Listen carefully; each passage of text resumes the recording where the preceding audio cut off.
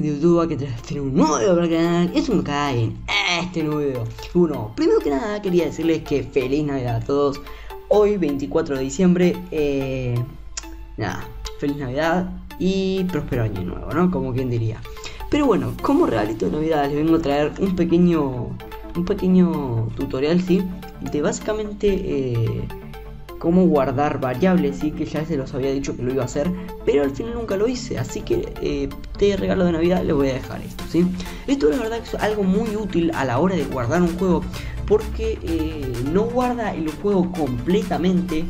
Y eso es bueno porque a veces uno no quiere, o bueno, si quieren guardar el juego completo, pero de vez en cuando quieren guardar algo exclusivamente, ¿sí?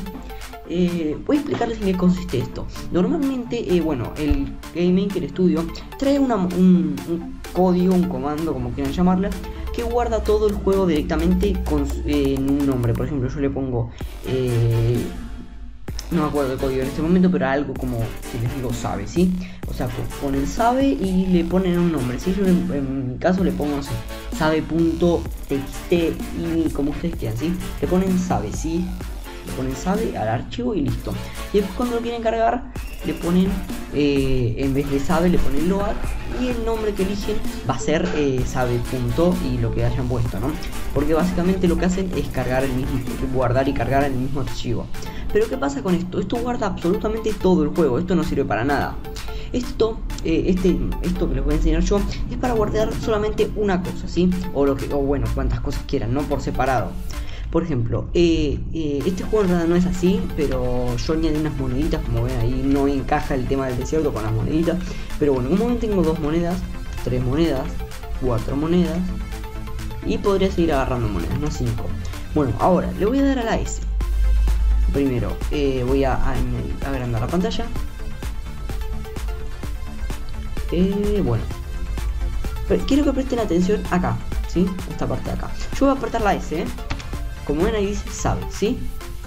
Si yo ahora, si yo ahora agarro una moneda y aprieto la L, como ven tengo 5 de nuevo porque cargué lo anterior, ¿sí? Pero como ven, no, la partida sigue igual. 6 de nuevo tengo, lo hago. Como ven, eh, o sea, las monedas siguen sin estar y todo eso. Y puedo seguir interactuando con los objetos que hay en la room, todo. Eh, pero bueno, eso, ¿no? Es simplemente eso.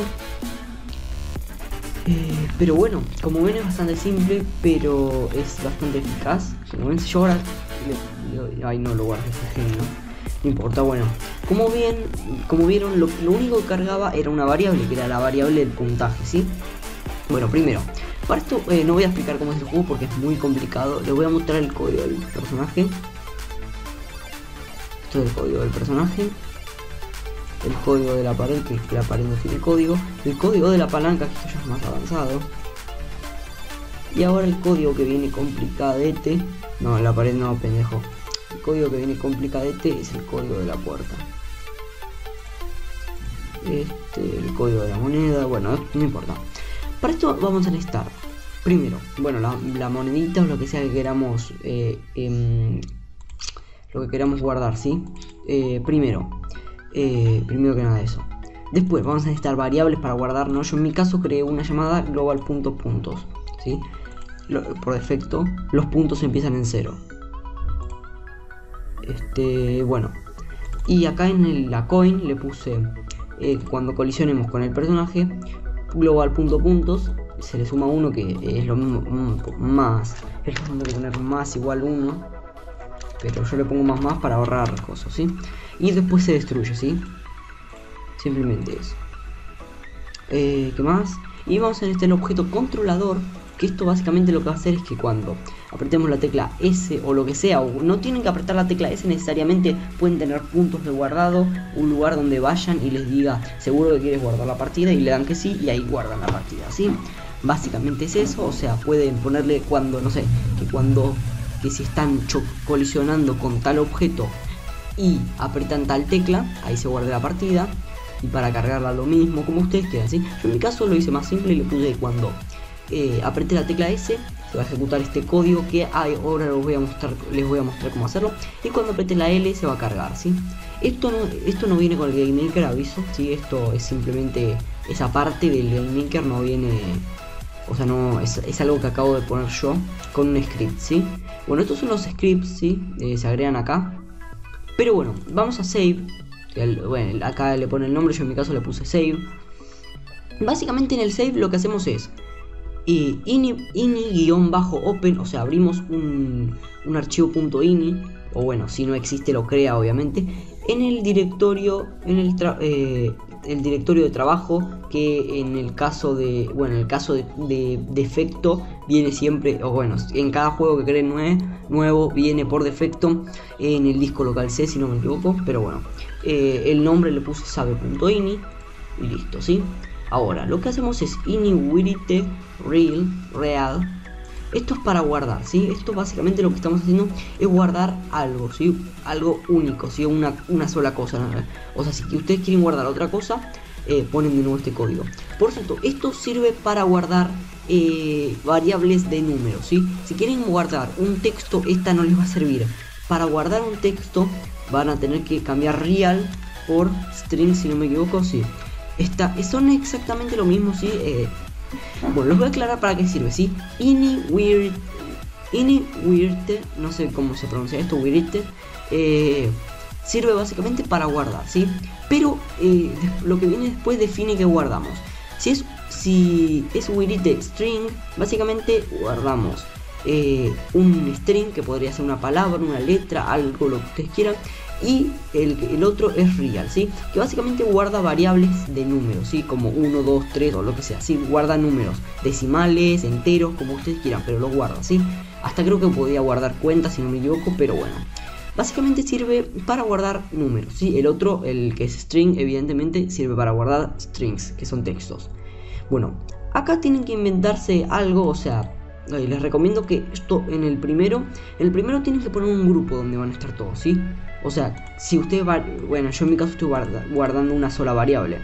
Pero en el caso de que estén eh, guardando más, más variables, recomiendo que todas estén en el mismo grupo eh, de variables. O sea, que acá le ponen un nombre. Si yo en mi caso le puse variables.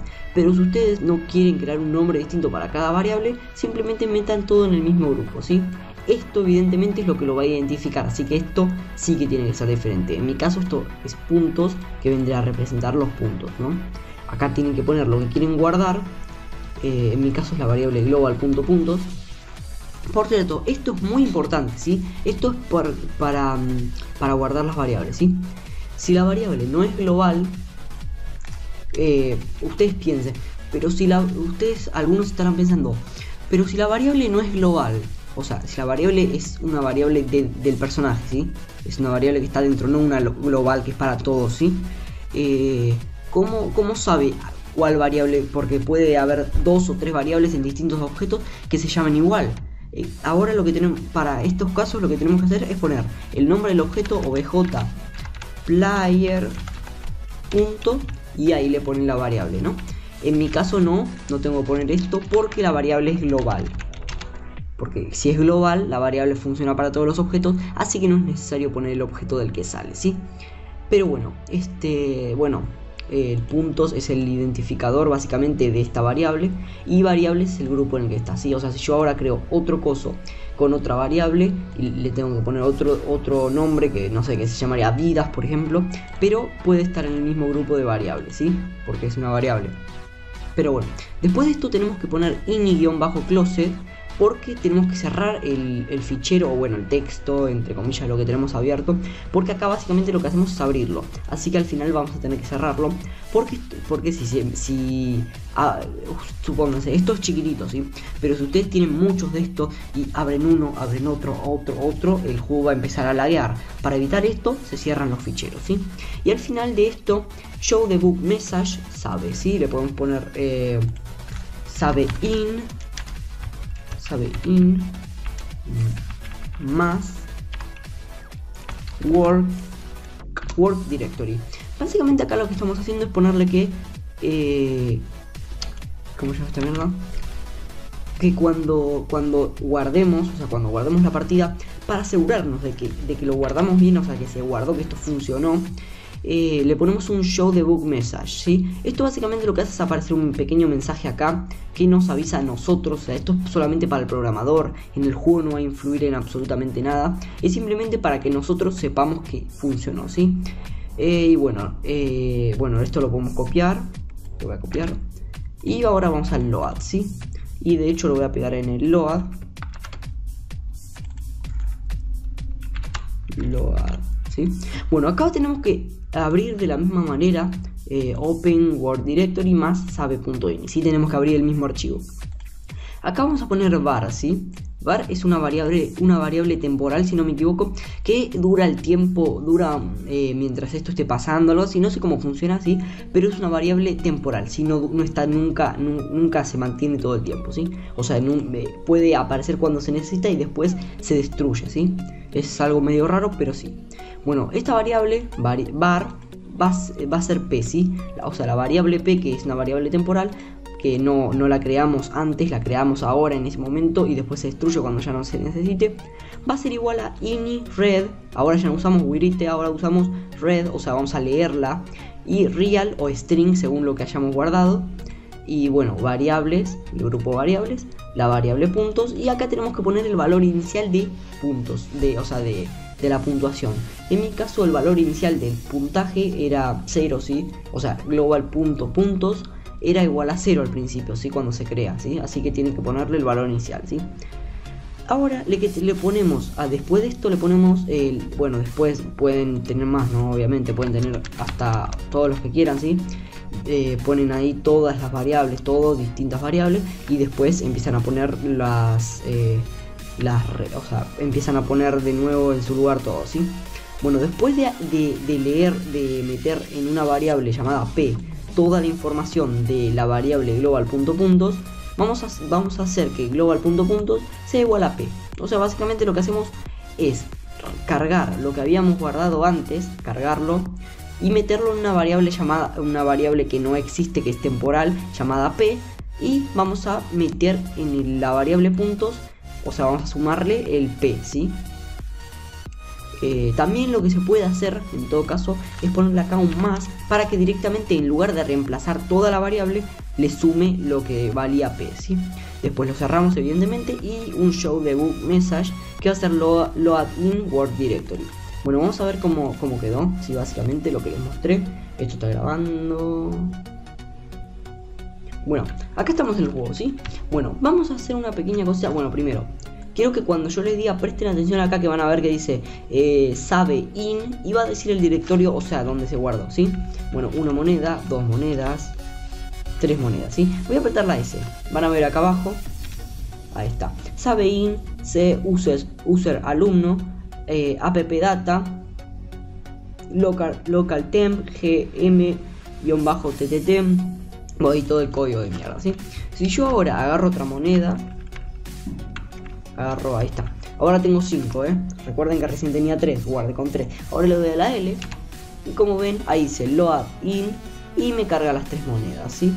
Esto básicamente sirve, eh, por cierto, también pueden usarlo con posiciones, o sea, pueden guardar la posición del objeto, ¿sí? De hecho, voy a, voy a hacerlo, voy a enseñarlo. Eh, bueno, yo básicamente le voy a poner ini, guion bajo, we, real esta voy a guardar una variable de número que va a ser eh, va a ser variable. Variables. Va a ser del grupo de las variables y va a ser x. Sí va a ser x. Puede estar entre comillas entre estos cositos y aviso. Y va a ser obj player.x, ¿sí? Eso es básicamente lo que voy a guardar, ¿sí? Voy a guardar la variable, la, la x del personaje. Ahora voy a guardar la y. Y listo. Básicamente acá lo que hice fue guardar la posición x e y del personaje. Ahora la vamos a cargar. Acá, este, acá. ¿Sí? Ahora acá en vez de wirile, o como se pronuncia wirite, eh, real Ahí está. Ahora básicamente leemos la variable. Vamos a crear una variable var xp, que sería eh, la x del personaje, ¿no? Vendría a ser. var ip y listo.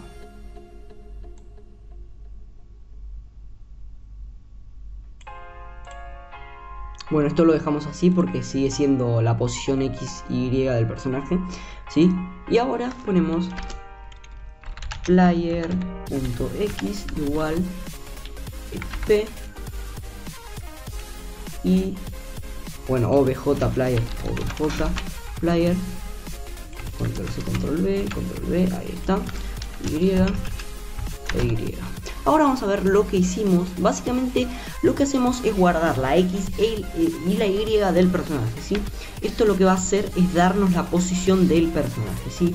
¿Qué significa esto? Que cuando nosotros guardemos, o sea, apretemos la S en este caso, la posición en la que estaba el personaje cuando guardamos, la posición en la que estaba el personaje cuando guardamos, ¿sí?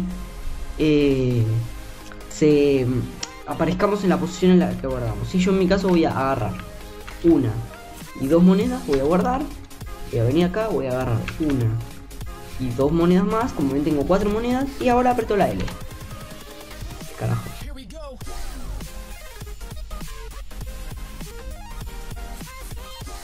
Ahora no sé qué pasó. Será un error, no sé.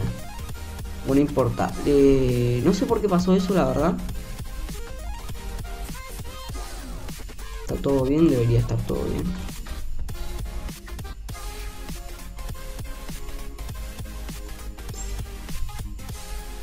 Bueno. Le voy a poner 0, 0, ¿sí? Así no sé si no hay error, a ver si era eso. Ah, ya sé, ya sé, ya sé, ya sé qué hice. Era acá, no le puse igual, ¿sí?